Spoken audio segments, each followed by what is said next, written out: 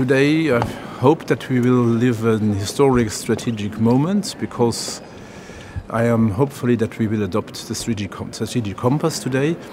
And it's at a crucial moment of uh, European Union defense because uh, with the conflict in Ukraine, the aggression from Russia against Ukraine, I think it's now very important that we will improve what we will decide today in, in, on paper, in the paper, and really adopt the European command, common defense policy at least.